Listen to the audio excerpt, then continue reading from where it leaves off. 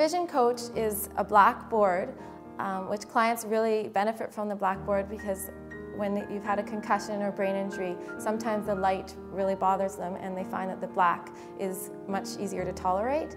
And so what it is, is there's red, you can have red or green dots that show up on the board and the clients have to, using their visual um, processing and visual function, try and reach with their hands and try and touch um, the red or green dots.